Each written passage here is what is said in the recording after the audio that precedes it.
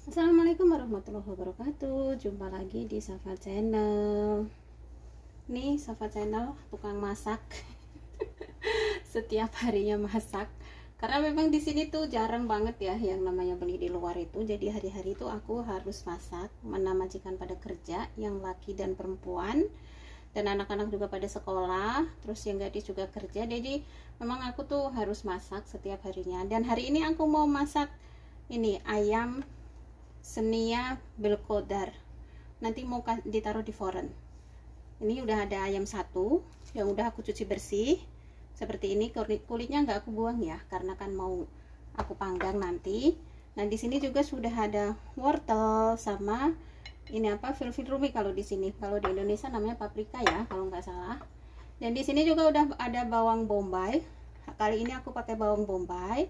Dan ada tomat juga yang sudah aku potong-potong seperti ini dan tentunya juga sudah ada ini kentang yang udah aku cuci bersih dan aku potong-potong juga seperti ini dan seperti biasa ini bumbunya ini bumbu ya bumbu Arab lah ya ada garam, ada lada lada hitam, ada cabai bubuk, ada baharat, ada baharat kare dan ada kurkum. Kurkum kalau di sini tuh namanya apa ya?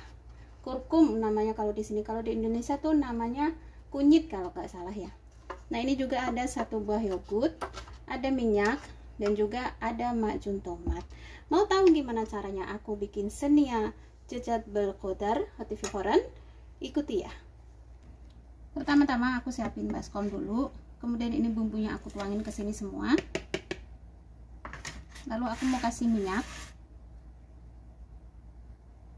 Semua lah ya lalu aku mau kasih ini yogurt. Ini kasih yogurt. Ini yogurt tuh kalau di sini tuh apa sih? Ini bener apa enggak sih namanya yogurt kalau di Indonesia? Kalau di sini tuh namanya zubadi dan aku mau kasih sedikit macun tomat. Nah seperti ini nih. Kemudian kita katakan seperti ini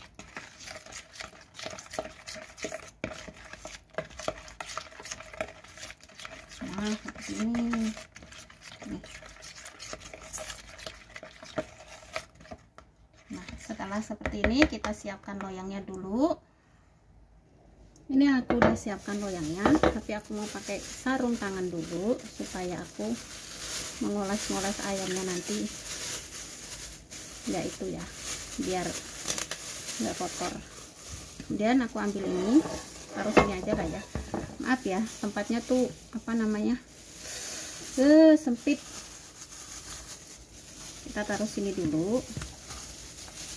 Jadi aku tuh kalau bikin sesuatu konten itu masak jadi mohon maaf kalau tempatnya kurang ini ya kurang bagus. Nah kita oles-olesin ini ayamnya dengan bumbu yang tadi. Nah seperti ini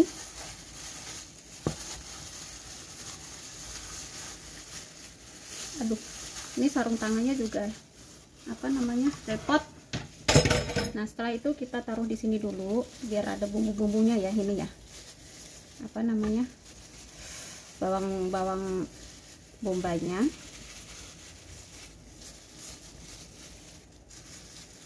kemudian kita taruh tomatnya. Nah seperti ini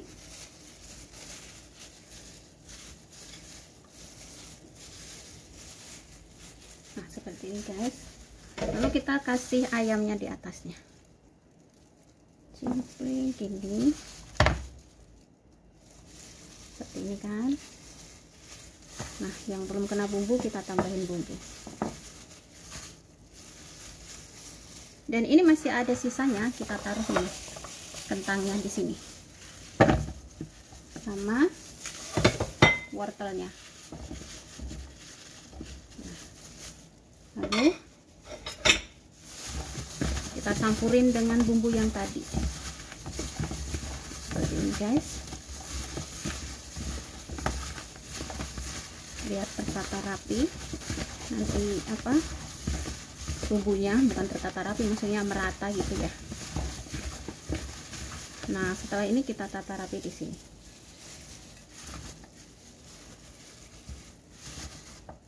nah seperti ini.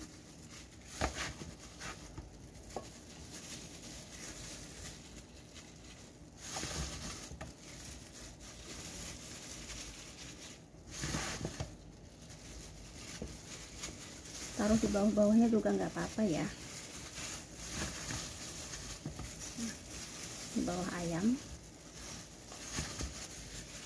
Supaya tidak penuh di atasnya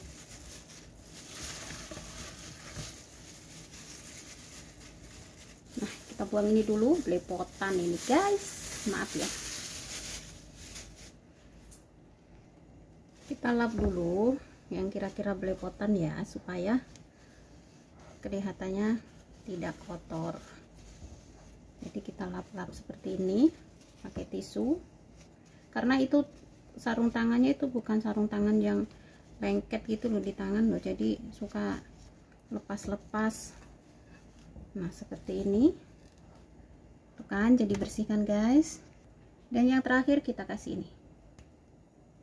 Nah ini apa namanya? Kalau di sini namanya filfil rumi. Kalau di Indonesia namanya paprika ya. Nah, seperti ini.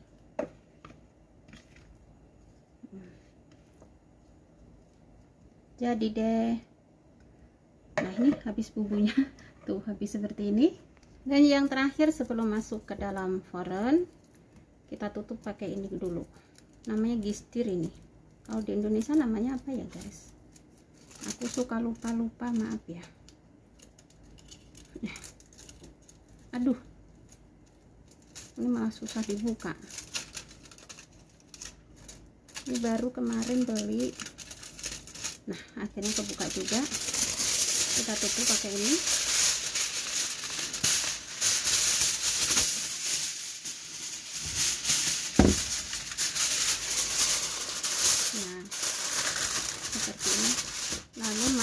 dalam koran tutup yang rapi ya guys. Tutup yang benar-benar rapat gitu ya. Nah ini udah masuk foren tinggal nungguin sampai ayam dan kentangnya mateng ya. Nah selain aku masak ayam yang tadi itu tuh namanya ayam tadi tuh ayam senia jejat belhodar belforen pokoknya namanya tuh susah banget. Itu tuh artinya tuh apa ya ayam ditaruh di loyang dikasih sayuran terus dimasukin ke foren gitu. Pokoknya seperti itulah ya. Dan di sini aku juga mau masak nasi putih karena majikan laki-laki tuh harus ada nasi walaupun cuma sedikit. Di sini udah ada air mendidih. Ini tadi aku kasih kapulaga sedikit garam sedikit dan serta aku kasih minyak. Memang di sini tuh kalau bikin nasi putih seperti itu ya. Ini aja aku nggak pakai apa ya nggak pakai apa ya girfah itu kayu manis tapi yang berbentuk nggak yang bubuk kayak gitu nggak pakai daun kerjugang nggak pakai cabai karena majikan laki-laki kurang suka jadinya maunya yang seperti ini aja. Ya udahlah ya gimana maunya dia aja lah kita turutin menurutin kemauan majikan laki-laki. Kita aduk. Aku di sini tuh kadang-kadang suka pusing sendiri nih guys. Masak bikin makan sambil curhat-curhat ya sharing-sharing gak sih. Soalnya kalau makanan itu soal masakan apa pun itu semuanya aku yang mikir sendiri. Setiap harinya tuh harus ganti menu apa menu apa gitu tuh aku mikir sendiri. Majikan perempuan tuh sama sekali nggak mau tahu. Pokoknya dia kerja pulang ada makanan minum kopi udah gitu. Karena mungkin udah capek juga kali ya. Pernah aku nanya itu kamu mau dimasakin apa? Ah kamu mah kayak anak baru aja katanya kamu apa apa aja yang kamu masak juga selalu habis gitu katanya. Jadi aku nggak pernah nanya-nanya lagi. Cuman aku kadang-kadang pusing yang tukang masaknya pusing guys. Ya gitulah ya. Tapi majikan aku tuh baik banget. Makanya aku kerasan sampai 12 tahun kalau selesai kontrak ini. Nah kita biarin sampai mendidih dan matang nasinya. Kita lihat nasinya guys. Tuh. Kita taruh dulu tutupnya seperti ini. Kita aduk pakai sendok aja ya ini nasinya udah mulai kering airnya. Tuh nasinya di sini tuh seperti ini guys. Panjang-panjang dan kecil-kecil.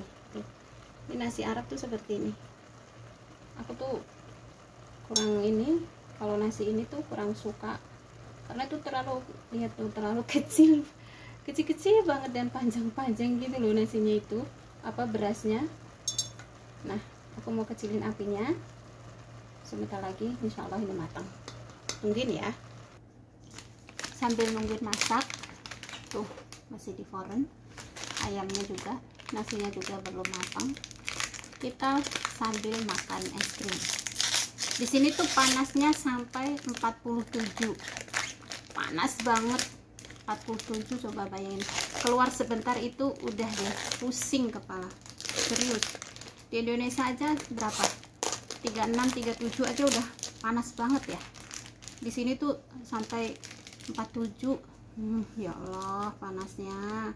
Di rumah itu kalau di dalam rumah seperti ini tuh AC semua nyala. Setiap ruangan tuh AC semua nyala tapi masih tetap aja panas. Gimana yang hajian coba mudah-mudahan jamaah haji semuanya lah ya. Pokoknya jadi haji yang mabrur dan ya kuatlah dengan panas nah ini aku makan es krim dulu sambil nungguin nungguin apa namanya? Nungguin masakan mateng makan es krim. Bismillahirrahmanirrahim.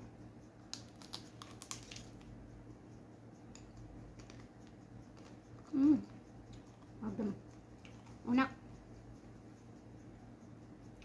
Vlognya santai ya. Masak sambil curhat sambil makan es krim pokoknya lah. Diborong vlognya. Biar nggak terlalu serius ya hmm. Enak.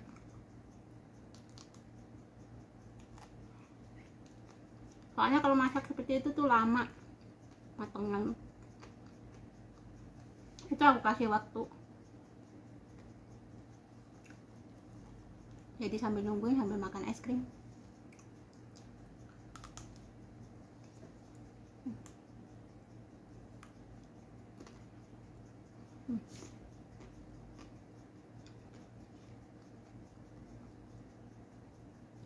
pokoknya kalau musim panas begini tuh kalau nggak es ya kalau nggak es krim ya minumnya es teh manis aduh. Dietnya selalu gagal.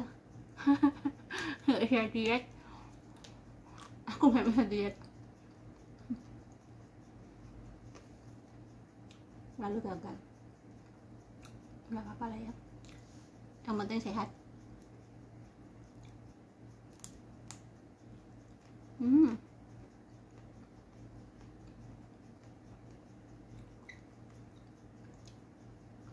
Aku lahir nasi dulu.